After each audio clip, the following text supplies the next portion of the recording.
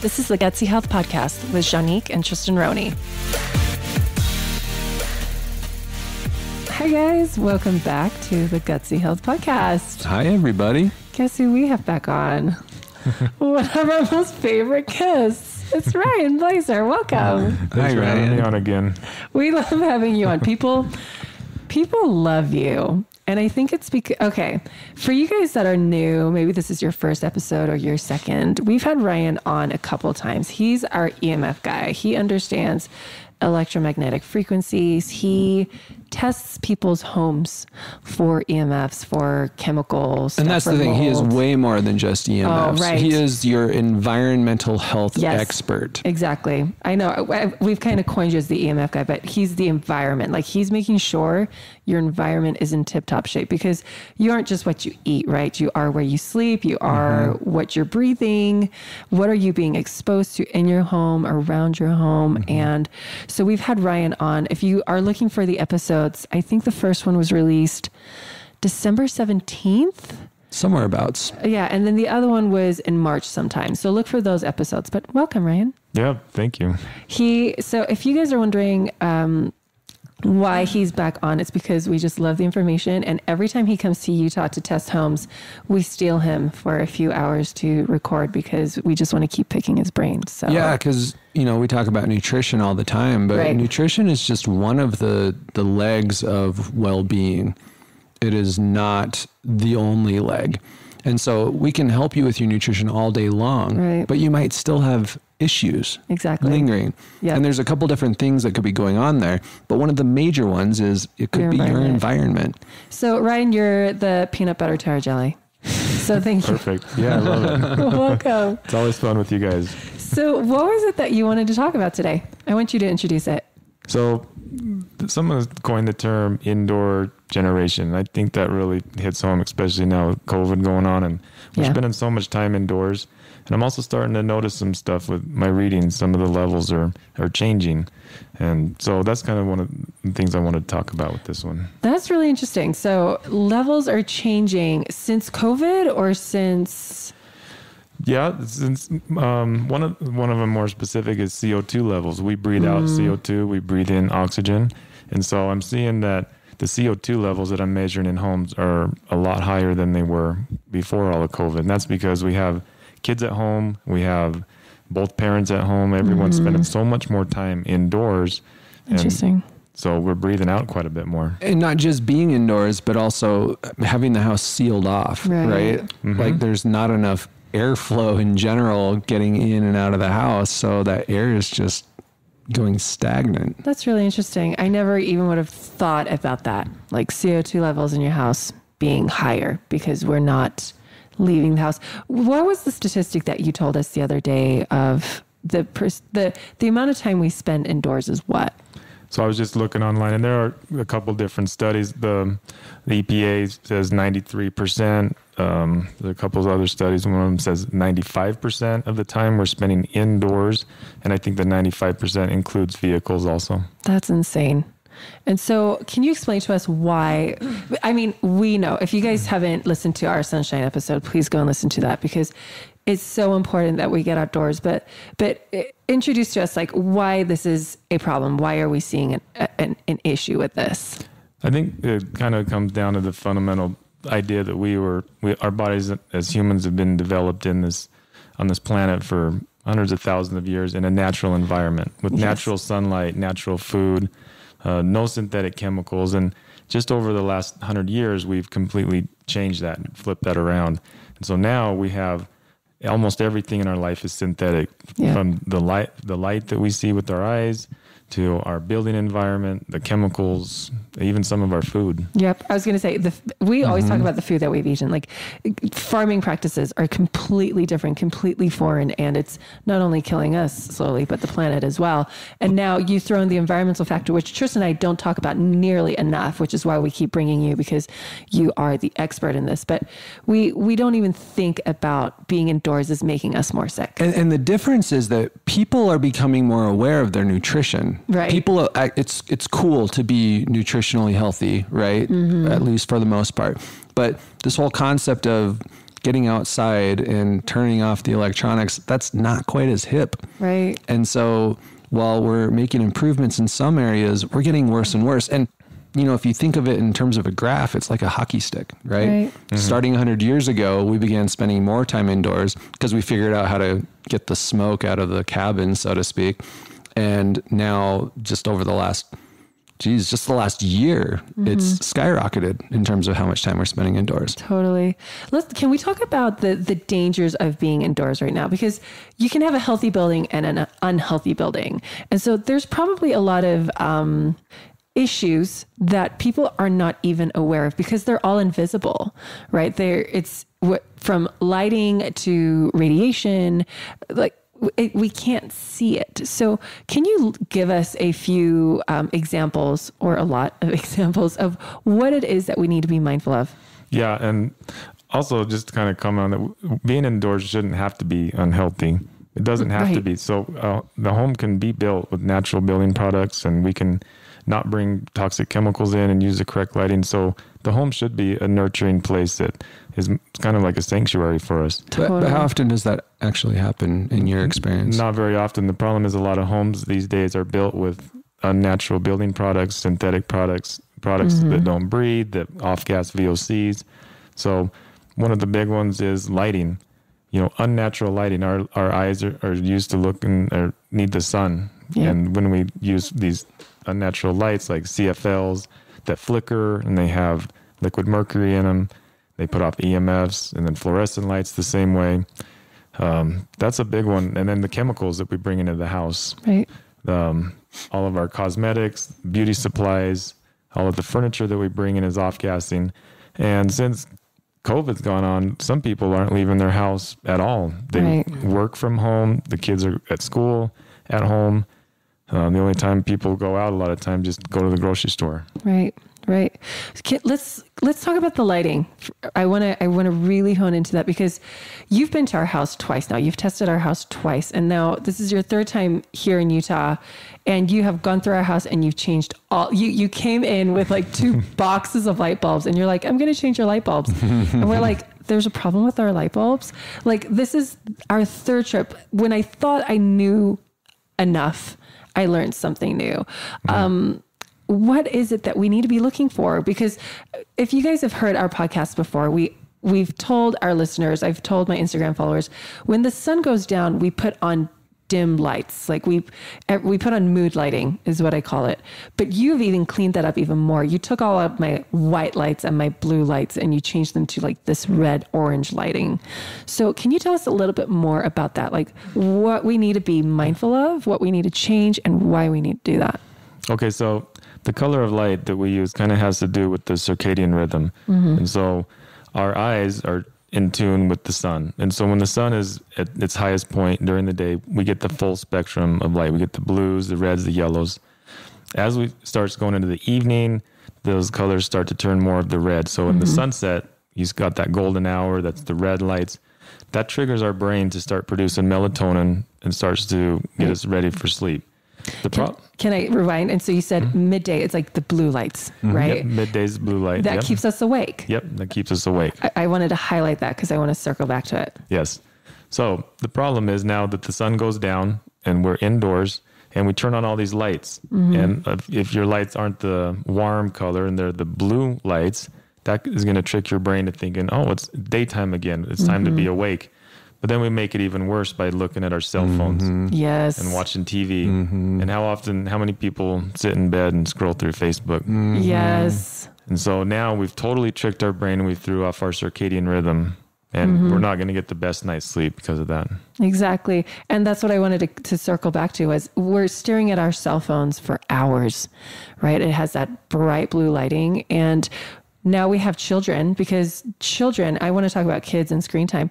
Kids are watching blue, like these screens for hours and they are having sleep issues. And those sleep issues are turning into um, anxiety or depression issues. And now we're having this generation of really young children dealing with what adults used to, well, adults are supposed to be dealing with. And that, and again, it's, it's a product of the environment. The environment has tricked the brain into an imbalance. Mm-hmm. And so, so, s things that we can do about lighting for our indoor generation, or there- if there's- we are for, yeah. And there's more to it, right? It's Yeah. not just the color. Mhm. There's the flicker rate. Oh, And tell that's us the about other that. thing. So your traditional incandescent lights, it the power runs through a little filament and it heats up, and that heat is what creates a constant glow. Mm-hmm. But now that we have LEDs and we have fluorescents and CFLs, they actually they're flickering, they're strobing, and our our brains don't like that. So, can we see the strobing, or No, is it invisible? So we can see up to about 30 frames per second, and these Mm-hmm. are strobing around 60. Okay, So we can't we can't um, see it or comprehend it with our consciousness, but uh, it, But the brain. strobe, yeah, the strobe is affecting our brain, and some people it will induce seizures. Oh my gosh. So if so if we just change our lighting, that can help maybe some people with seizures. Yeah, Is that that, what you're saying? definitely help with seizures for sure. Okay, this is complete news to me. I had no idea. Yeah. You guys normally when we start podcasts, we kind of have like a general idea of what we're talking about. this just totally took me by surprise. So, what uh, on the box of light bulbs does it say low flickering or like what are we looking for? Yeah, there are some that let's say low frick, low flicker and eye friendly, but any any bulb that's incandescent is n- not going to have a flicker rate. Or the halogen bulbs are the second best; they don't have a flicker rate. Okay, so incandescent or halogen. Yep. All right, awesome. Yeah. So uh, I'm I'm curious about uh, the screens. What's the what's what's the flicker rate on like a television or a computer screen? So that's a little bit different. They have a refresh rate, and then what they're doing is they're scanning across the line really fast, and so that's called the hertz, the hertz, the refresh rate. Okay, so that's, like the 120 or 60. Yeah, Okay. yeah, exactly. It's not. It's it's different because it's scanning across the line and refreshing. So so that is not Not as, as bad, as the flicker. Not as bad, but Interesting. but there are studies that are starting to come out and saying the blue lights from the screens and the computers are dangerous all the time, just because it's an unnatural blue light, Even at midday. even at midday. Yeah. Well, interesting. You were saying in our Sunshine podcast Mm-hmm. episode that these artificial, this artificial lighting is causing uh, types of cancers, right? Mm-hmm. It's causing melanomas of the eye, and so it's and it's most prevalent in people who are chefs and pre- people who are welders, right? Right. So people exposed to high amounts of artificial lighting. bright artificial light for hours on end. Mm-hmm. Right. Yep. Well, and and Ryan, you said this in the the past uh, podcasts, but you you know we don't know the repercussions of all of this screen time. We're seeing it, the immediate things like, and we're talking immediate like three to five to. 10 years of screen time is leading to depression and sleep disorders and mood disorders, potentially ADHD. Uh, do we know if ADHD or ADD is, ha, has anyone read any studies around artificial lighting and no, nothing I- like that. I- I'm not I, I have no familiar with idea, actually. anything. I was just curious if anyone knew about that. Um, I don't, I'm not familiar with any studies, but I have firsthand knowledge just from talking with my clients. I have a lot of people that will tell me, yeah, after 30 minutes of scrolling through Facebook, my brain just starts to feel mushy and I start to get a headache or I start to get irritability. Mm-hmm. Yeah. I hear that often.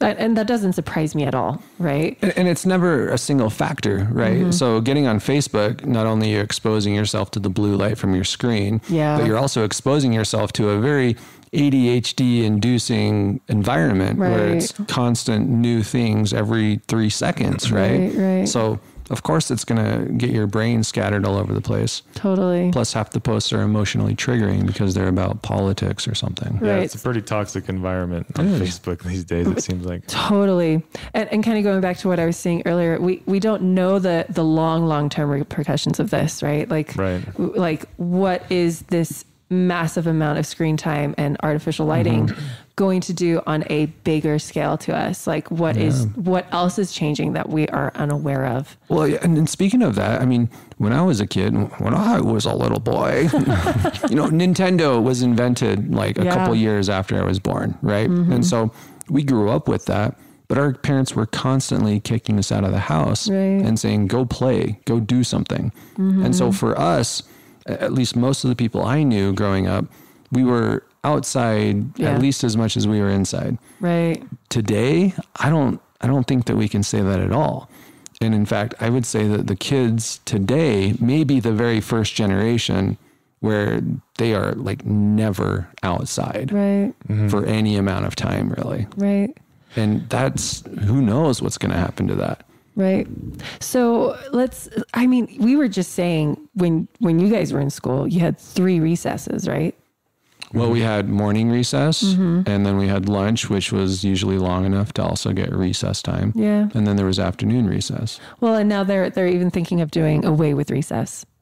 You know, Yeah. we're going to be and and and think of the schooling like they don't care about their lights. They're probably like what kind of lighting do we have in schools? Mostly fluorescent, Fluorescent. lights. Oh, great. Mm-hmm. So the, The worst, worst kind. kind. Yeah. The worst kind. Mm-hmm. So they're going to be indoors all day with the worst kind of lighting, you know, being like no breaks for body movement or outdoor exposure, nothing like that to recalibrate their brains. Yeah.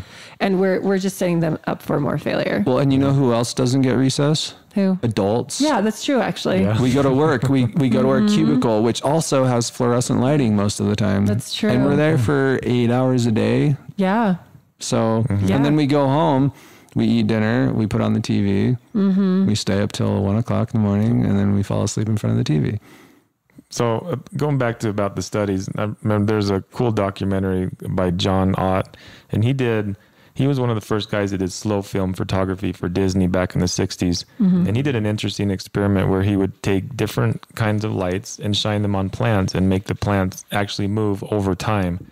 And so he would make these cool little videos with these plants dancing to music. Mm. But and that that kind of started off the whole slow film photography concept, but also on in doing so they studied the effect of lights and what the lights had on biological beings being plants mm-hmm. but then they took it one step further and started studying those effects on humans and there's a whole documentary on it that he did and that was back in the 60s Whoa. And what was the conclusion of that documentary? that the different lights were dangerous and they the so to make the the lights go or to make the plants fall down they would put the fluorescent lights and the artificial lights and then to make Wow. the plants go up then they would use the natural lighting You're so kidding. by doing that different variations of lights he could make the plants dance over time So I wonder if this is potentially why so many people are just so tired all the time. it's definitely one reason yeah You know, because uh, we, to me, my clinical brain is like, well, that's adrenal fatigue. You hit 2 p.m. and it's adrenal fatigue and it kicks in. But, and, and that's a cortisol issue, right? But is our cortisol being conducted according to the, the light cycle as well? It is, isn't it? Well, there's a there's a a rhythm, right? A circadian rhythm to Mm-hmm. Right. it, which yeah, all circadian rhythms ultimately come from the sun. Right. Uh-huh. And so would we so we're potentially shifting our circadian rhythm by exposing ourselves to mm-hmm. this artificial lighting, therefore inducing that 2 p.m. slump. Mm-hmm. And then we're super stimulated in the evening. And so adrenal fatigue, I always say, is from, you know, stress, stress, stress, but that's also stress from our environment as well, our artificial lighting, mm-hmm. not getting outdoors enough. I always notice when I start getting tired, and like that's and i always say like my brain has switched off and i'll tell my assistant i can't do any more work and then i go outside and play with my kids. Mm-hmm. And that's normally around 2 2.30 and then i get like my second wind. And i'm like okay because i'm grounded. I'm outside i'm grounded i'm seeing sunlight i'm getting fresh air. I'm no longer in front of like computers and cell phones and emails and all of that mm-hmm. jazz. And it totally wakes me up. And so it's it's all kind of coming together for me. I'm like, oh my gosh, adrenal fatigue could be linked to artificial lighting, like uh, may, potentially, Yeah, right? I think it's one factor, and you know, there's also the mitochondrial function Yeah. that goes into this, right? The the more in sync we are with the natural rhythms of day and night, the the better our mitochondria tend to function. And Mm-hmm. Yeah. as everyone learned in school, the mitochondria is the powerhouse of the cell. totally. So it's where cells get their energy from. And if they're not functioning properly Mm-hmm. because the rhythms are all off, we don't have enough melatonin, all those different things are going wrong, then our Yeah. energy production is going to be terrible. Right. And that's going to cause us to feel fatigued, tired, Yep. lousy. So maybe we should talk about what an ideal situation would be for lighting if Okay. you wanted more optimal help. I think it would start by you seeing the sun come up. Mm-hmm. You get up when the sun gets up. You spend at least four hours a day in the sunlight or as much natural light as possible and minimize all your artificial lighting. I like to say at least more time in the sun than you have in front of the screen. Yeah. If the screen time is, is an issue. And that's hard for people that work in front of the screen. You know, I Yeah. used back in the days to be an engineer, and one of the things I would do is print off my drawings and my schematics. And so instead of working off my computer, I would print them off and work off of hard papers. And sometimes I'd go mm-hmm. outside to do that. But have the natural light as much as possible during the day. And then when the sun goes down past sunset, don't have any blue light. And the lighting that you do have, you should it should be the red hue, the the Yeah. warm lighting, and then your blue blocking glasses. Tristan's got them on right now. It looks pretty cool with John. Lennon glasses. and then on your phones and on your laptops, they all have settings that you can turn the blue light on. And so on iPhones, I think it's called Night Shade or Night Shift. Yeah, Um, night shift on iPhones. Night Shift on iPhones. And, On- that- and on Samsung, my Samsung, I have an app called Twilight. Twilight. And so it will automatically take the blue light out of the phone when the sun goes down. And then on uh, on Windows computers, the, It's nightlight. It's called it? Nightlight. Nightlight on Windows computers. and Yep. then Mac has uh, Flux. Is that right? Yep. Yep. And then I always at least an hour before bed just put the technology away. Mm-hmm. And real real dim lights, red lights Yeah. and just kind of let the sun be your guide. If the sun's down, your eyes shouldn't have too much light in them, especially not blue light. You know, it's funny. Back in the day, before you could read books from your phone, um, there was always the joke of if you want to go to sleep, read your scriptures. because the lights are down and it's so not- boring. No, no, no, no, stop. No, because Oh, that's like, not what you meant. No. but I think it's probably because we weren't in front of screens, right? And you're reading Yeah. before bed, and the you know, uh, but the, the- but now we're reading scriptures on our phones, and Mm-hmm. maybe that's waking us up or something. So for me, going to bed is like listening to an audiobook. All the lights are down, like not watch. You know, Mm-hmm. if you're listening to it, you're not looking at the screen, right? Or read a book or whatever it is. Um, okay, so changing all our light bulbs, changing the the red hue on our screens. Um, sh- it, what else? It, have we kind of covered lighting? Yeah, I think we've covered being, lighting. being Yeah. outside more though is Yeah. kind of the key to all of this, right? Maybe like take your laptop and work outside. What can we do Yeah. in the wintertime? Wintertime's a little bit tougher. Um, definitely take advantage of the sunlight when it is out during the day. And definitely make sure that you have the warm lights or the more red colored lights that you're using after the sun goes down. Okay. Yep, really stay away from the, the cool white, those really bright ones. Mm. You shouldn't really be using those too much in your house. There's there we used to have a sunshine lamp. we still it was do. very white. Mm-hmm. Is that not good for us? During the day, it's fine, but once the sun goes down, Okay. yep, because that's going to throw off your circadian rhythm. That's going to, when you put that on and you use that after sunset, Mm-hmm. it's going to tell your body it's still the middle of the day. It's time to be awake. So that's why we turned it on in the morning. Yeah, to we wake would do us it, up. do it in the morning to Okay. kind of That make us feel like there was sun, even though there wasn't. Some sunshine. Okay, so okay, so that's lighting for you guys. Let's talk about screen time for a little bit because um, I want I know we've kind of covered that. Um, the amount of screen time that we're I, so when Tennyson was in occupational therapy, his therapist said 45 minutes to an hour of screen time a day. And I remember being like, that's impossible. and, but, but that's really what the golden standard is. I uh, honestly, being a stressed out mom, like I'm not telling everyone, hey, don't put your kids in front of the screen because sometimes that's what we need. Either we close them in a room while they scream and then we like take a 10 minute breather or we put them in front of a like a show or something. Um, I know, yes, playing out that outdoors and stuff.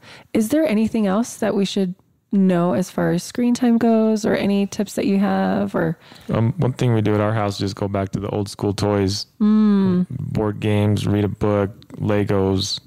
I like You know, that. The girls play with the dolls. yeah, Um, go outside and play in the floor, jump on the trampoline. exactly. Get their wiggles out. Yeah. like get their bodies moving like our brains were designed for body movement Right. and especially as they're having these growth spurts they need to be in their body as they're going through that so i really really like that um, one other thing and i wanted to ask tristan there's um, an app on the on the iphones and maybe samsungs that times the amount of screen time that you have what is that called tris It's called screen time. it's called and can you put like a timer So there's there's a couple different features. They're built into iOS now. Um, one of them is the screen time that will actually tell you how much time you're on your phone every day. It'll give you your daily average. And then it has like app limits and downtime. So you can actually set certain times of the day where most of your apps will be disabled. Yeah. Um, That's and, awesome. And you can set limits for individual apps. So like no more than three minutes of Facebook a day. yeah. because that's all you can handle before your life starts to get really bad. or Um, like 30 minutes of Instagram or whatever it is. Yeah. And just, Mm-hmm. Yeah, and, and honestly, like this is a great one for your kids and your teens, but Mm-hmm. it's a really good one for yourself right. because we we don't tend to track ourselves very well on our Mm-hmm. phones, and it can add up really quickly. It really it's just a million. Actually, that's another thing the phone will tell you is how many pickups you have every day. Interesting. And like the number can get ridiculous, Right. like 120 pickups today. Well, and and I, you know, I always talk about how we're addicted to sugar, and like it's, but Mm-hmm. we don't realize we're addicted to screens.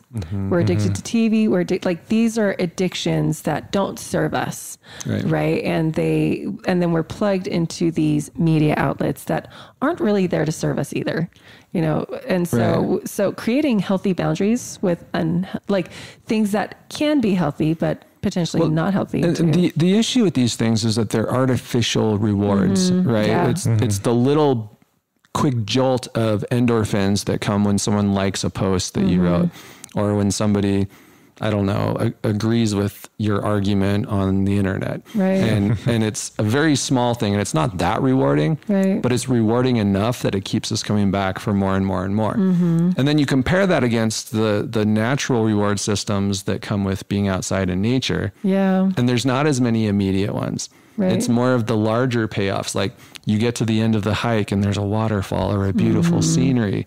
And that's way more meaningful and it's something that'll stick with you a lot longer. Yeah. But it's not as immediate. Yeah. And so our, our natural human instinct is to go after the immediate rewards right. because that's how we're kind of designed. That's so true. Mm-hmm. Okay, so maybe putting up some boundaries, some strong boundaries with that, with our Yeah. kids, especially even Right. with ourselves And- if we need it. And another thing too that I've noticed a lot is the gaming. The gaming world is really big, and I know you guys aren't into that, so you don't see that. But I see that a lot in these assessments. Is we're doing these testing, and what we got to keep the gaming system going. That's an important one. And, and now with mm. these games, that's how a lot of these teenagers and kids are linking with their friends. Yeah. Is okay, let's all get on the game together, and mm-hmm. they got their headphones, and that's how they communicate, and they're literally playing through these virtual worlds instead of playing outside. Yeah. Mm-hmm. So speaking of it's very artificial artificial reward systems, right? Yeah. that Mm-hmm. even our social interactions are shaped by this very non-genuine form of relationship with other Mm-hmm. people. Yeah. And the gaming world is huge. That's a huge industry. There's so many people Yeah. linking up on games online now, playing in these virtual worlds. And of course, our intention is not to to vilify gaming because it can be a totally normal, healthy part of your life. It's just that it's not very balanced for Mm-hmm. Yeah. just about anybody who does it. You know what might be really I, I love reading I haven't done this yet because our kids aren't really of age, but I love seeing when families online say we did a, a technology fast for a week. Hmm. And kids couldn't get on their phones. They couldn't get on facebook like nothing. And they had to figure out how to connect with each other. And the parents saw that the kids were talking to each other and they were being present with each other and they were playing mm-hmm. games with each other. But when we have our phones in front of us we're in the same room but we're completely separated. Mm-hmm. Like there's no connection. There's no eye contact. There's no interaction. And so maybe a fun thing to do would be to schedule media fasts mm-hmm. you know and have it be like a social experiment within your family and have it have have structure around it and be like okay maybe yes monday yeah you don't have technology but monday you guys are going to work on this project and then tuesday you're going to work on this one. Mm-hmm. And you'll see that they they will be fine. Mm-hmm. You know like yeah they they go through withdrawal like a, a typical addict but they end up you know at the better end Yeah. and, and so recognize technology is as addictive as sugar is And actually, on that note, this is kind of a, a side note, but really relevant here. Um, we're almost done revamping our liver reset program. Mm-hmm. And we've got a whole bunch of people going through the beta right now. Mm-hmm. But a really big part of this liver reset program has nothing to do with food or supplements. Mm-hmm. It's about the media fast. Interesting. For 21 days, we strongly encourage people to cut down on their media consumption as much as they can and spend that time in reflection and connection and nature instead. Did you throw that in the program? Uh, no, I mean, it always been part it's always been a part of it. It's Oh. maybe not one that we've emphasized Yeah. quite as well as we could have, but it is now a major part of it. Yeah. And the interesting thing is that it can provide as effective results as any of the dietary guidelines in the program and as much as any of the supplements in the program. Right. But it's the hardest one for people to do. Mm-hmm. They look at it and they say, okay, I can give up all these foods for a few weeks. Yeah. All right, I can do these supplements for a few weeks. Yeah. Ooh, you want me to get off of Instagram? Right. I don't know. Or like, I need to keep up with what's going on with COVID. How many how many new cases were there yesterday? I need to Mm-hmm. Know. right. Do you? Do you? Right. So I, I like that. I like that point. Mm-hmm. Um, so you guys just remember it, boundaries is really important. Um, that that screen that they're looking at all day, every day, is messing with their brain chemistry. So please be mindful that as we are growing these tiny human beings into big human beings, or maybe they are already, you know, they're they're teenagers. Just let's let's take this is why I love Ryan and Ryan in town because he reminds me about the holistic approach, right? Just Mm-hmm. like I said earlier, we're very nutrition heavy. We're very supplement well, not super heavy in supplements, but when you come into town, you remind us like, yeah, lighting is really important. Mm-hmm. Just when I thought our house was like super clean, you come in and you're like, hey, this lighting's really funky, you know, and like the stories you've been telling us of like things that you keep finding in people's homes. It's like, wow, yeah, that would totally make people sick. The environment is so important and mm-hmm. can be so healing, but mm-hmm. we have let ourselves be stay in a toxic environment. So, mm-hmm. anyways, No. Yeah. A lot of people at home right now, especially mothers with young children who have been stuck inside with their kids for the last mm. several months because of COVID, are going, Are you kidding me? I know, You want to take away the one thing that gives me sanity during my day? and I feel you so hard. But but here's the deal. If you're listening to this relatively close to release, which is the end of June, that means it's summertime mm-hmm. and that right. means that you can be outside. Yeah. Mm-hmm.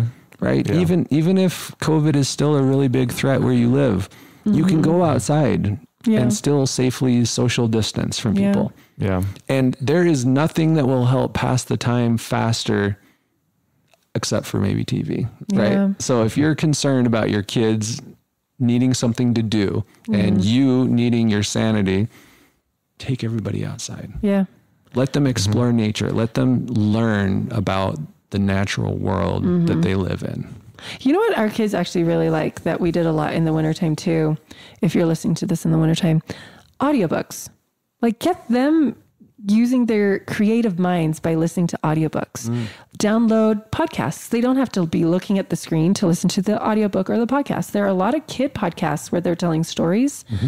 Um, and again, I'm thinking for six year olds because of Tennyson, mm-hmm. but there's there's age appropriate things. So if you have a 10 year old or a 16 year old, have like challenge them to be like, okay, you can do screen time only once you've listened to an audiobook or you've read a book or but but I'm thinking more something that's quick and easy for moms like mm-hmm. if you need 30 minutes have them all in a room drawing painting and listening to an audiobook and that might be really helpful our kids get really calm and quiet because they love listening to stories mm-hmm. so that might be a really good idea for you guys So I would maybe even take it one step further. Yeah. And you guys are probably going to think this is crazy, but we only do one hour of screen time a week.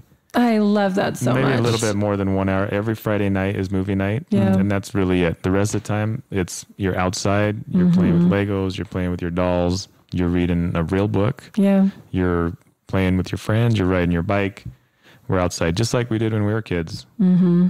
It's the same thing. And luckily, or I guess it's a little easier with my kids because we brought them up that way. If you try to take yeah a teenager and tell them that's what they got to do, it's Right. going to be impossible. right I've seen the outcomes and it's not pretty. no no It can be- they- it can be ugly, for sure. you. But if you do have little ones, then mm-hmm. you can set the standard early. And Yeah. because really, how much screen time is healthy? Is there a number? And I don't think there is to mm-hmm. say, okay, an hour of screen time is healthy, and any more than that's not. To me, any screen time is unhealthy Yeah. because of the blue light, because you're missing the opportunity of being outside and being social, because of the EMF exposure that you're getting. And so I think if you can train your kids or try to shift into that realm and look at it that that is an unhealthy habit that you're doing. So whatever it is that you're doing on that device, you're doing with it, it better be worth it. Yeah. I really like that point. Mm-hmm. That's that's very sobering for me because that would be a really great goal for me to work for and I know that we could we could do it with enough structure. Mm-hmm. With enough structure with a good plan that can be doable. Like Mm-hmm. I kids thrive with structure. Why do we put technology on? Because they're bored. Because it's easy. Because it's easy. Mm-hmm. And, And by the way, it's not that different from what we're talking about when it comes to nutrition, right? Mm-hmm. Like the way that we feel thinking about going down to one hour a week of screen time is the way that a lot of people feel when they listen to us talking about vegetables. giving our kids veggies and Right. organ meats It's for just dinner just practice and training and structure, Mhm. and structure. right? So that's why we created the membership to Yeah. provide that structure so that people feel like they've got a pathway to getting where they need to go. right. hmm And you need to you need to have a, a goal. You need to see mm-hmm. what's what what are we working towards. Mm-hmm. Yes. I mm-hmm. like that. Man, okay, one hour a week. when when We need to we need to come up with We- I a know. plan. Make it worth it. Whatever you're doing in that For hour. sure. I know I need to go buy a trampoline and paint for our children so they can keep busy. Those are two things we use. Yeah, painting, a lot of painting, trampoline. You know, Tristan won't let me buy a trampoline for the kids. No, He, and I want one so bad for them. It's a great outlet. there's other options. There's jungle gyms. I know. Okay. So, what else should we be considering for our indoor generation? What else are Okay, you so seeing? probably the next biggest thing is just the stale air that's inside. Mm. You got a family of four kids, two adults. You're both working out of the home. The kids are stuck at home. All the doors and windows are closed. Everybody's using product. Every Yep. everything you're breathing out. The CO2 levels are high. The VOC levels are high. Mm-hmm. Almost every time I, I'm seeing this very often. So one of the biggest things you can do is just open the windows, Okay. open the doors, get some fresh air in and out of there I love it. For Yeah. 15 minutes a day at least. At least. So, mm-hmm. like right now, this time of year, first thing in the morning, get up and go around and open all your windows. Yeah. And when it starts to get warm enough where your air conditioner is going to kick on, go ahead and go back and close them all. Mm-hmm. Perfect. But a couple hours in the morning, let it let the air flush out. So you're starting with good fresh air every day. I like that. Now, that. a couple of questions that tend to come up with this. Um, the first one is if, mm. if you live in an apartment building, are you sharing air with all the other apartments in the building? So there should be an air barrier between the different apartments. Okay, so you at least don't have that to worry about. That's right. nice. Um, but that, that's not to say that air does not get through. sure. Absolutely. I, what que- the question I get a lot when I recommend opening the windows on Instagram is when Utah has pretty bad air. What if the air is really bad outside? Sometimes it depends on where you're located. Mm-hmm. You know, if you're in uh, northern Utah area, or sorry, northern Salt Lake area where the refineries are, mm-hmm. Mm-hmm. that area is pretty bad most of the time. Um, so they wouldn't are. be opening their windows. Yeah, this week of testing outside, the air quality has been pretty pretty nice. So unless you're you got a factory right there, or fires, or it's the fall time when it's really dusty, a lot of farming going on. Nine times out of ten, the outdoor air is much better quality than indoor. Okay. Is there a way to uh, look that up, like uh, purple air, something like that, where you can see the airnow.gov will tell you the air particulates in the air. airnow.gov? hmm And the Idaho De- or Utah Department of Environmental Quality, their Cool. website, you can look up uh, particulate matter 2.5 micron and 10 micron. So if it's like in the orange range, then you might want to keep the windows closed that day. It depends on the habits inside your house. If you have a lot of mm. carpet, you have pets, you do a lot of cooking, you're not using your exhaust fans, and you're keeping mm. your windows closed, it could still be a lot more harmful inside your home still. Yeah. wow. Yeah. Great. And so using the fans, using your ventilation fans, because it's all about controlling the sources of the pollution. Mm-hmm. So if you're cooking bacon, that bacon smell is going to stay in your house. That's particulates. I remember the first time you came to our house and you showed us is it the particulates of the the putting the gas stove on? Is Yeah. that what you're measuring? Gas stove will do carbon monoxide. It will do gases and particulates. Well, I put two and two together because every morning after I made breakfast, I would be exhausted. I would have to like sit down and take like 30 minutes to like get my breath. so to speak. And I didn't realize it's because I was like, I couldn't breathe proper air. Right, the carbon. Mm-hmm. monoxide mostly in that situation. And so you taught me to put the the fan on. Mm-hmm. The what, is, what do you exhaust call it? fan. The exhaust mm-hmm. fan every time I'm cooking, mm-hmm. and to open my window every time I'm cooking, and that helped me tremendously to not get that slump right after cooking. Yeah. because I've had people say, "I- "I'm cooking more now, but I'm just exhausted while I am." Mm-hmm. Part of that's mental fatigue, but I think part of that too is you know the stove potentially, Yeah. like being in front of that, being in front of the gas. That's obviously not an issue with like an electric stove, correct? Not as bad, no, because with the gas stoves, you have the hydrocarbon byproducts that you're burning. Mm-hmm. One of them is carbon monoxide. Okay, so with the electric ones, is there anything that's coming off of that? So electric ones, you have more of a concern with the EMF, the magnetic fields Oh. coming in. But still, if you're cooking oil with oil, Yeah, the, the food you, that you're actually cooking will have the particulates things- going into the air. Mhm. Okay. Yeah. Interesting. Interesting. All right. So, what else should uh, we be considering as far as? Um, oh, one thing I wanted to say, guys, change out your filters in your homes, right? How often are we supposed to be changing out those filters in our vent systems? Yep. So the HVAC filters that you're talking about, you Mm-hmm. Yes. should be changing out at least every three to four months. Okay. And don't buy the cheap filter. Nope. Right? What what standards should people be aiming for? So if you're a Costco shopper, they have the Filtrete brand. It's 2200, and that's a really good brand. Or if they have a MERV rating, you want a MERV rating of 13 Okay. Mm-hmm. or higher. I A uh, MERV rating. Yep, pretty much. It's How do you spell that? M E R V, and MERV. it stands for something that I can't think of off the top of my head. It's Okay. so important. okay.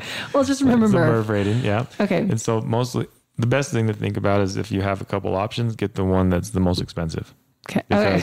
That's the best thing you can do to filter the air particulates out of your air. And Okay. That's actually what I did recently. Um, I was really tired of getting to Costco and then forgetting what size of filter I needed.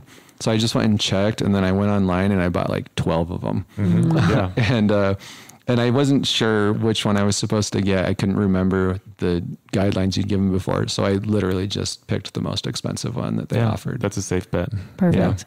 Okay. so there you go. So what's next? What else do we need to consider as far as our indoor generation? Yeah, well, air fragrances too. That's a big Mm. one. A lot of people need to have it smell a certain way. The mountain fresh air, pine sol. That's there's no pine needles in that pine sol. Yeah. Right. That's chemicals. Yep. And so, if you have a fragrance or a perfume smell in your house, that's a chemical smell, unless you're using essential oils. Mm-hmm.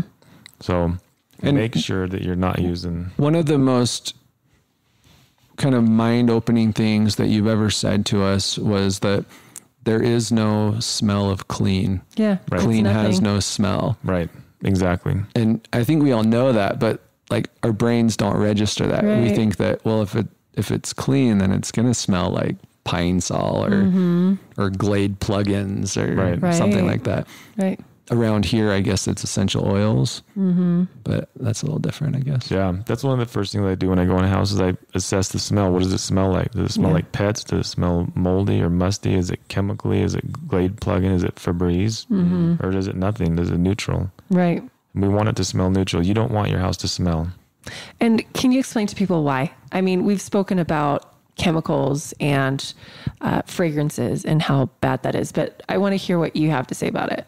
So a lot of the fragrances and perfumes, they have phthalates in them, and phthalates are endocrine disruptors. They Mm-hmm. Yep. can do a lot of harm with our um, hormones and our hormone system. Yep. But more importantly, it's just chemicals. It's unnatural chemicals. It's petroleum-based products.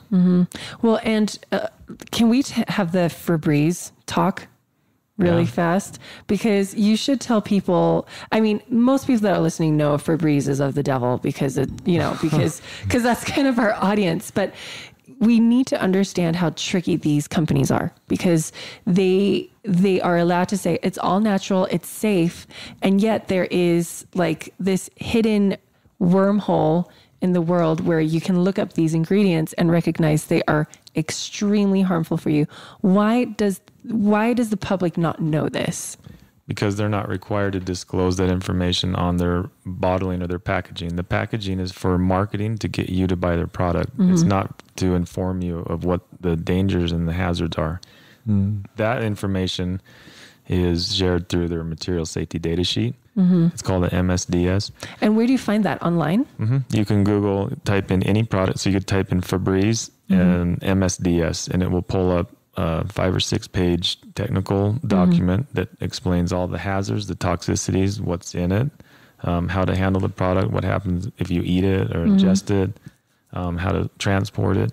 This is the technical legal document that people use, like in court. If you sue them, this stuff will come up. So Yeah. for Febreze, for example, if you look on the back of a basic bottle of Breeze, it says ingredients derived from natural corn products, and it says it's safe for animals, for humans, and we use it to spray on our clothes, on our furniture, in the air. If you pull up the material safety data sheet, it tells you quite the opposite. It will list off about 20 toxic chemicals. It will tell you that if you give, I think it's 50 milligrams of it to a rat, if you rub it on their skin, they will die. If you put it on um, rabbits, they'll die. If you put it in with fish, they'll die. Uh, you're not supposed to spray it on your clothes. If you get it on your skin, you're supposed to wash it off immediately with soap and water.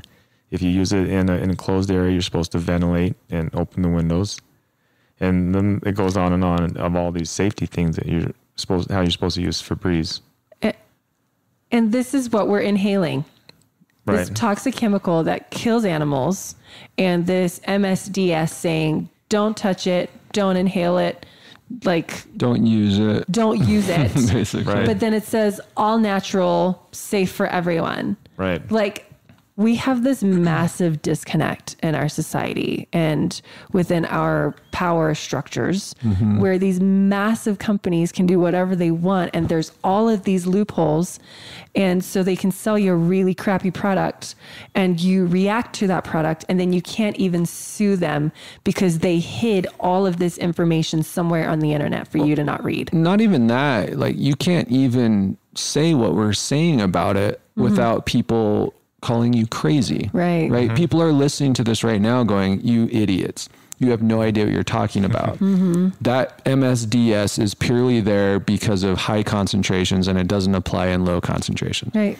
Have they tested it in low concentrations over a long period of time? Right. Over 20 Yeah, years. so there's a toxicity area in mm-hmm. the MSDS, and it will tell you the levels that they've tested it, and mm-hmm. at what levels will it start killing people or animals or mammals or whatever they Yeah. tested it on. Well, and and here's the thing that I want people to understand. Yeah, in high concentrations, it will kill animals. We're not having it in high concentrations mm-hmm. for those periods of time. We're being microdosed on poison. I'm going to call it poison because it clearly poisons animals in high. You know, water in high concentrations doesn't poison you. You know, Well, and high enough, it will. High enough it will. That's true. But actually, that's true. So that's a bad example. But this product might not only be in Febreze. It mm-hmm. might be in your makeup.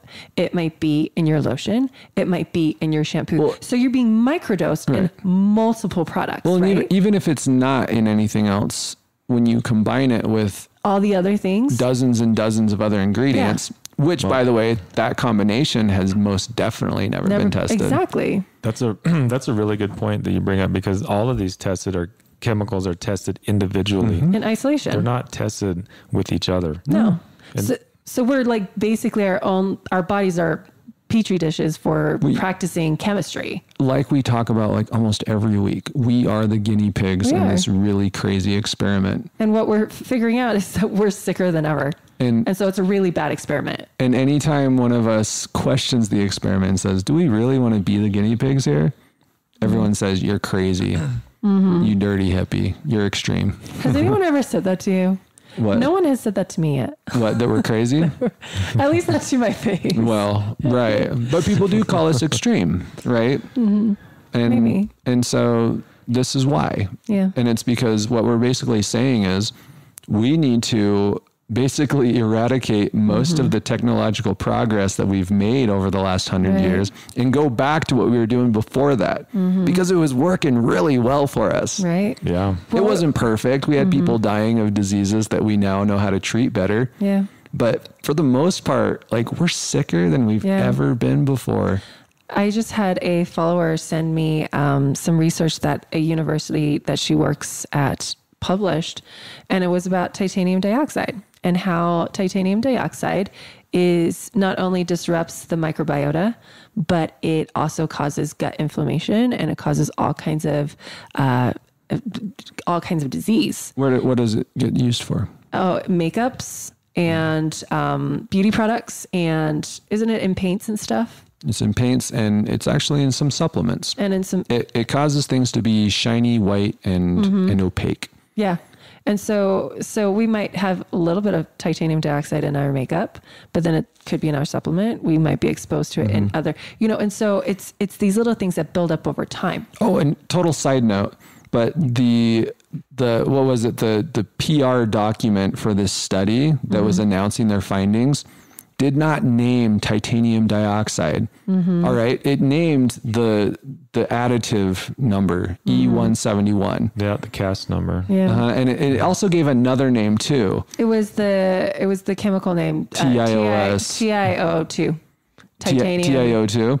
But they never in that article never said titanium, Titanium dioxide, dioxide. which is how it's going to show up on ingredients lists. That's how people understand it, right? Mm-hmm. Like why why would you go through all this trouble to study this and discover that it's dangerous and then tell everybody but forget to mention the most important piece, Which is which is how do you actually well-known figure name. out if this is in your environment if you're being exposed to this. exactly. But anyway, that's so a total we side note. digress. I'm sorry because mm-hmm. we were talking about like things that we spray in our ears and the perfumes and all of that stuff, the yeah, phthalates. and, and the reason that it's important for what we're talking about Right. this podcast is because all these things are in concentration in our homes, Mm-hmm. and we're in our homes much more now. Yep. And so we're breathing these things in. Yep. And we're exposing, as you said earlier, it's an endocrine disruptor. Mm-hmm. And so we are having these little kids exposed to endocrine disruption as they're going through growth spurts. Mm-hmm. And so uh, what's what's higher than ever right now? Infertility. Isn't in, Mm-hmm. infertility in men or sperm count in men is like 50%. Maybe and, less, yeah. And isn't infertility like one in three women right now? It's something like that. It's something really, four, really in high. It's- and it's it, it it keeps getting worse and worse and worse. And so clearly, what we're doing isn't working. And so, as we are dealing with our indoor generation, we let's be really mindful that if they're going to be indoor, like let's protect their hormones, Mm-hmm. like they are gold because they are. You mess up hormones, you don't feel good. Anyways, all right, Yeah. what's next? So I think we hit chemicals good and indoor air quality. So And- another and thing that we're seeing now is some more mold buildup because uh, a lot of people think, all right, so we got the shower, we got the sinks, we got the bathtub. That's where water is produced. But us humans breathe out up to a liter or two of water every day. Mm. So if you have a family of six in a home, the doors closed, windows closed, they're breathing that. Where's that moisture going? It's recycling.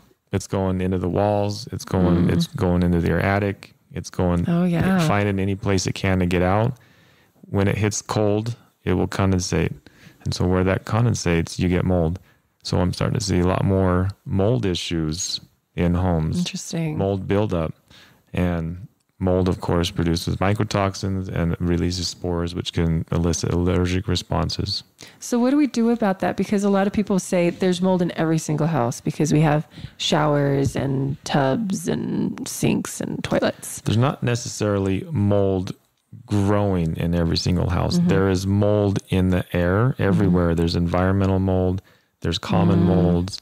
What we're concerned about is more of the dangerous molds, the black molds, mm-hmm. the Stachybotrys, the Cladosporium, the Chaetomium. All these types of molds come from water damage and water buildup.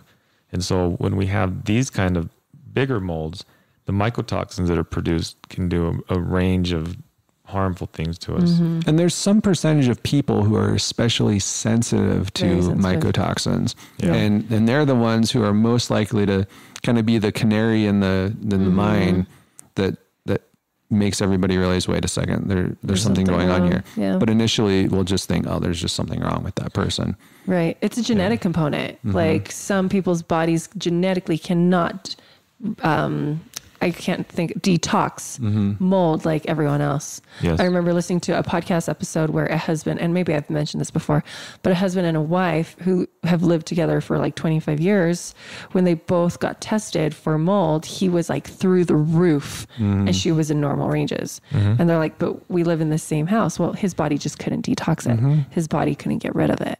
And so, yeah, we need to be really mindful of those people if they're feeling sick and they're having weird symptoms. You know, a, a lot of the time we'll have people have these strange symptoms that come to us mm-hmm. and they show up for EMFs or mold or, you know, fungus or something like that. And it's like, oh, oh, oh no, we have to have this talk. You know, mm-hmm. because this is a hard concept to understand. Like, there's something in your environment that you can't see that's making you sick. Mm-hmm. And so, other than opening our windows, what do we do? You know, that's really kind of the big one is opening the windows and getting fresh air. Okay. That really kind of checks off a lot of boxes when you do that. Perfect. Yeah. What about our bathrooms? Should we leave our fans on all day? Not necessarily all day, but you do definitely want to leave it on when you're in the shower, taking a shower, and up to 35, you know, 45 minutes after. Okay. Leave that on and make sure if you're getting condensation on your walls, you're not getting that moisture out of the bathroom in mm. time. Okay. And that probably goes double if you have a, a bathroom like ours that doesn't have a window Right. where it's it's kind of locked in the middle of the house. So yeah, so we probably need to keep that fan going for quite a a while few every day. hours. I Make sure know. it's staying dry. I know the kids love to mess in that one. Mm-hmm. Put water on the floor. Yeah, but getting getting airflow never hurts anything. Okay. Now, pressure. once you've got a mold issue and it's like behind your walls, um, what does remediation look like in that type of a situation? Looks like pulling out your checkbook. and writing a Oh, check. no. It, it can get expensive if you don't get on top of it. Mm-hmm. Yeah, if you get mold behind the walls, you're you're taking the walls out and you're redoing stuff. It can get expensive. Okay. Keep your house dry. That's one of the best things you can do Mm-hmm. to keep the value and the health of your home. Is keep it dry. Alrighty. What else? Is that everything? All for like in generation indoor? I mean, we could talk all day long about all the different things, but the, the main things Those that we're big ones. seeing from people indoors is the stale air. Mm-hmm. You know, some of the houses getting moldy, and we're seeing so much more screen time. Yeah. Not getting the sunlight. Right. Um, maybe we can talk a little bit about how we can boost the immune system Yes. because that's one thing we were talking about. You know, people are so worried about getting sick these days, and Mm-hmm. So I think just talking about in general the tips that we can give that can help the immune system.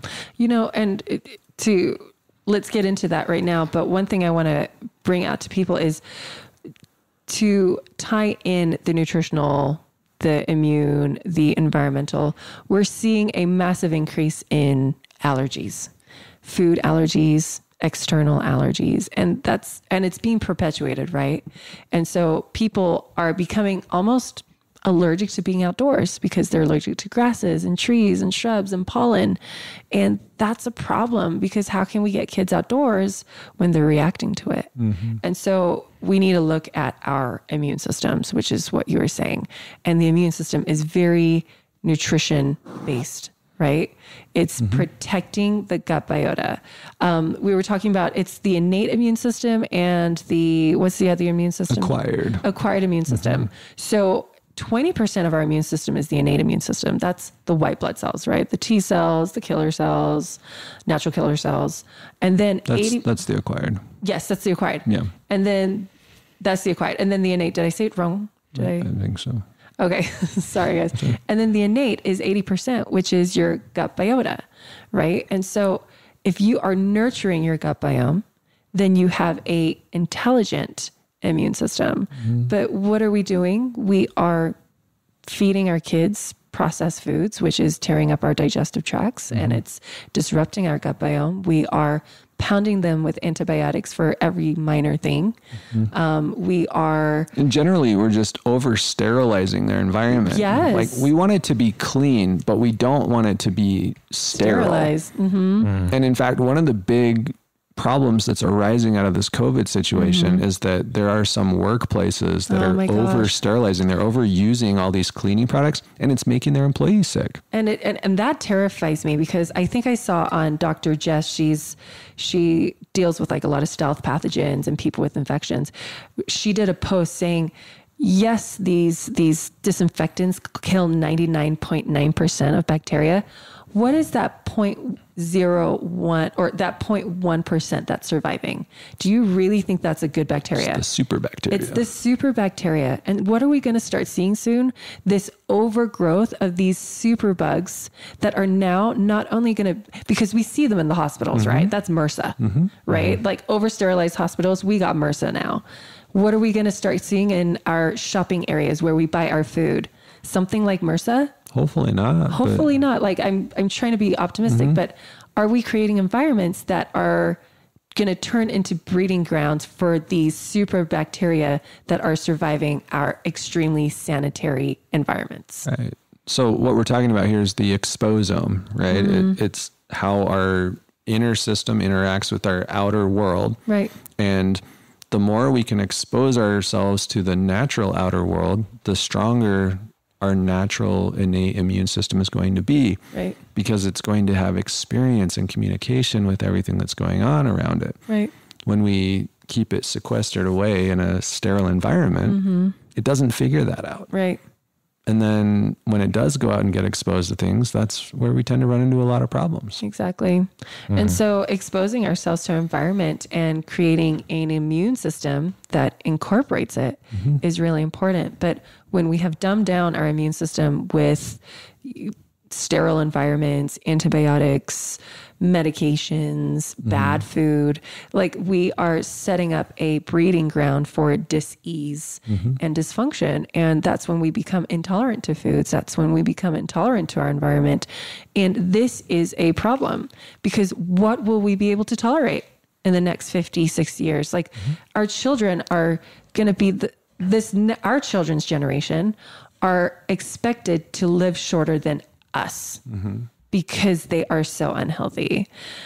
Allergies have tripled since the 90s in children. If you guys think back to your like your first grade, second grade, third grade, like how many kids in your class had EpiPens? None in mine. I I- don't remember any. I remember one girl who had allergies, and that was like when I was 12. Mm-hmm. And now, like a third of the children have EpiPens in classrooms. Like, you can't take anything to school because kids mm-hmm. are allergic to food. They're allergic to food, Mm-hmm. you guys, like food grown from the planet. Like, this is this is a problem because what are we left with? Processed junk right? And so we're perpetuating this problem that has made us sick in the first place. Mm-hmm. And so we need to really take care of our immune systems and recognize, like, you know what, the system that's been put in place right now isn't helping us. Right. And We've subsidized crappy food, high fructose corn syrup, corn, soy, wheat. We've subsidized it. We've made it cheap for us to purchase. Mm-hmm. And we now let food, healthy food, real food, be expensive when we should turn that around and subsidize fruits and vegetables so that everyone can afford it, mm-hmm. not just the elite, not just the middle class, mm-hmm. right? This is a problem. This is a problem on multiple levels. And this is something that we all should be talking out about, right? right. Now, oh, go, ahead. go ahead. No, no, no, Well, I'm going to bring it back around to building the immune system and going Sorry. outside. Because one of the one of the best ways to build your immune system is to get in the sun Mm-hmm. Yeah. and let your body produce natural vitamin D. Yeah. right? And this can't happen if you're inside all day. You can Right. take your cholecalciferol vitamin D supplements all you want. It's not going to give you the same benefits. It's not. Mm-hmm. Right. Because you need a balance of things, and the sun will help you accomplish that. Also, the sun is very disinfecting, That's correct. like in its uh-huh. own way. Mm-hmm. Like when you have stinky sheets from like the washer dryer, you just put it outside and the sun kills that bacteria. Mm-hmm. Right. And so it's like this perfect harmonious environment Right. Uh, for yourself, for your body, killing off bad things, keeping good things alive. Right. Um, oh, and, and speaking of the sun, something that we didn't mention when we did our sun episode, but we were talking about this earlier today, Mm-hmm. which is that when you are in the sun, you don't want to be wearing sunglasses. I know Oh, that's yeah. a blasphemous statement that I've just made. There are a lot of cool dudes out there who are pretty ticked to hear this, but the truth is that sunglasses are not doing us any favors.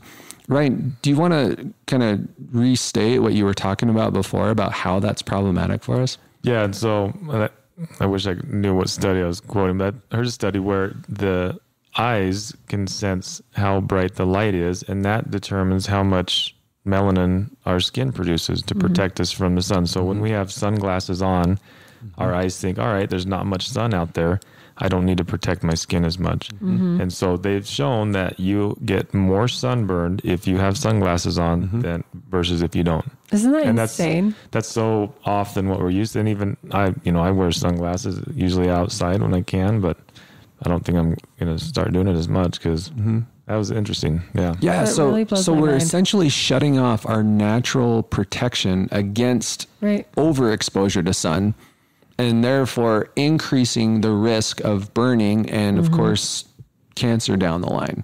Also, what a testament to light exposure and brain chemistry. Like there are things happening when we're exposed to light that we are not even aware of. this is one of those small things that studies have recently come out with, right? Mm-hmm. Because I remember like seven years ago when we lived in Boulder, everyone was wearing sunglasses, everyone under mm-hmm. the sun.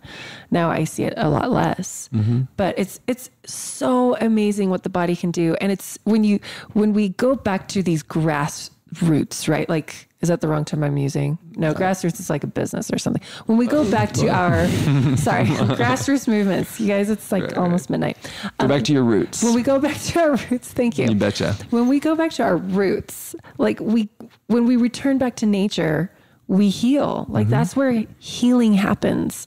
And we have tried to recreate the wheel, and we are seeing that it, it's going south. you, you really can't fast. perfect You can't. something that is already perfect Mm-hmm. and nature was already perfect. It's like what you were saying earlier, Ryan. Like it took us hundreds of thousands of years to create this perfect ecosystem within our bodies and our bodies within our environment. And we've messed it up in the past hundred years. yeah, Like big we time. and and our bodies are not adapting fast enough. Yeah. We can't. We've created this synthetic world. Everything Mm-hmm. about our indoor environment is, is synthetic. Mm-hmm. Yeah, our lighting, the cleaning products, the Yep. way we build our homes, the furniture we breathe into it, Mm-hmm. the food we eat, everything is synthetic, and we wonder why our bodies are having such a hard time with Right. it. Yep, exactly. And so hopefully this podcast you guys brought to light some some I guess truth bombs so that you so that we can all think of ways to help ourselves and our children and maybe give some food for thought as to why we might not be feeling good. Like the the whole sunlight thing and adrenal fatigue that just I was like, "Oh, there's probably a link here." That was, that was a big truth bomb for me today. Um, anything else we want to say before we close up? No, I just want to reemphasize that you want to spend more time outside. Yeah. Watch the sunrise, watch the sunset. Exactly. Make sure you're out there in the sun interacting with nature Yep. and unplug. Ryan, how can people get a hold of you? Because uh, did we say this in the beginning of the podcast? You test homes, you make sure homes are healthy, you're a building biologist. How can you get it? How can people contact you so that th- you can test their home for them? Uh, our website, pretty simple, testmyhome.com. Perfect. Yeah. And what states do you travel to? Right now, we're doing southern Idaho, northern Utah, um, western Wyoming. And you go out to like California if if there's enough people, right? Yeah, if there's enough people, we'll travel for it for sure. Mm-hmm. Okay. Yeah. Because I know there's a bunch of people in Arizona that want you down there. Yeah, we have a list. We need to make a trip down there. Yeah. Yeah, we're waiting for it to cool down a little bit there. Good call. Right, right. it's, it's probably Yeah. smart. Go in the wintertime. Yeah, and I'd, I'd like to add too, just if you ever have a question and you're not sure what to do, always take the side of nature. Mm-hmm. Always let mm-hmm. nature be your guide, and you can never go wrong. That's I so love true. that. I Good do advice. love that. Thank you. Okay, testmyhome.com and um, and listen to the other podcasts that we had Ryan on. They are phenomenal where we speak mostly about EMF. So Mm-hmm. thank you for always bringing the environmental factor into our podcast episodes because we don't talk about that enough. You're the yin to our yang, peanut butter to our jelly. Thank you. Yeah, Thank you, you for reminding all of our listeners about this. Anytime. Until next time, guys. All right. See you later. See ya. Bye.